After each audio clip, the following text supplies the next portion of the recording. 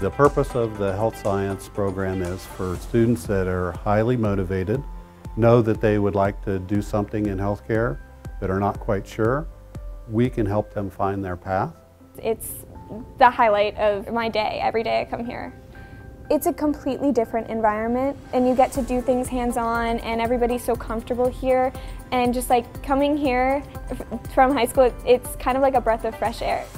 Because of the terms and the application that our students have, they are definitely getting a leg up professionally. They're able to go into the industry as an asset. Everything's stocked in here, everything that a hospital or a nursing home would have. We have it here to be able to teach them how to use it, use it correctly and safely. So by the time they graduate, they're very proficient in what they need to do. The mannequins are able to be set up um, in an environment where they can actually replicate what real patients uh, do. Our anatomage table is a virtual cadaver. I come here every day and I learn something new and I just, I love learning. And it's just, it's so cool because I, I grow as a person, I grow my vocabulary, and I feel like I grow my, um, my courage to, to speak in front of people. We'll have like one day out of like two weeks that he'll actually lecture at us, and then we're on our feet. We're doing, we're treating patients, we're talking to each other, we're finding solutions. We're really more focused on like the why of things and like why things work. Why do we do this? How do we do this?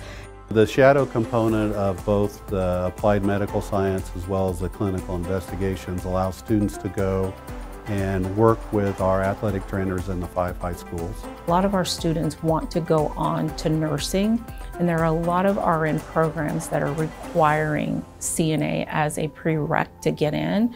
So we are setting them up for success by certifying them as high school seniors.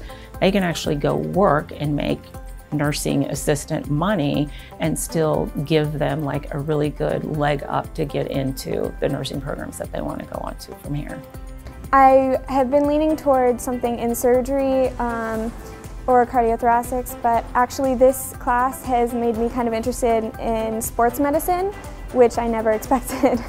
So I'm interested in pursuing cardiology, and I really wanted to get a head start uh, before entering college. You know, I've got some friends or juniors, right, but they're gonna miss out on what I feel could be like another great year next year with the MedSci too, because I know I want to do that. And considering I can have a little bit of a jump start before graduating and such, I figured this would be the best option for me.